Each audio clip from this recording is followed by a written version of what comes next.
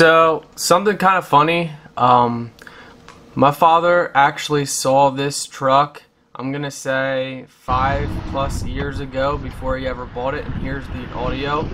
Um, I recorded this at the time a guy was selling the truck for, I think it was 12 grand or something like that. Um, five years before the first videos you guys saw. So, as you're watching, um, I was just recording it because it was a nice truck at the time, but at the time I did not know that, you know, someday my father was going to buy it.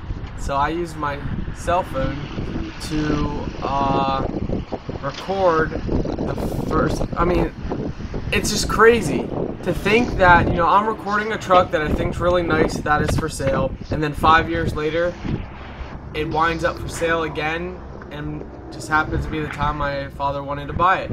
So, you know, it's just crazy how things work out.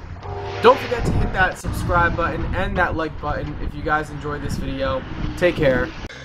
And also guys, it would mean a lot to me if you go subscribe to my channel.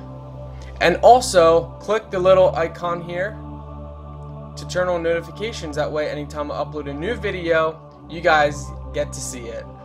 So, thank you guys very much, and enjoy the rest of the video or check out all my other videos.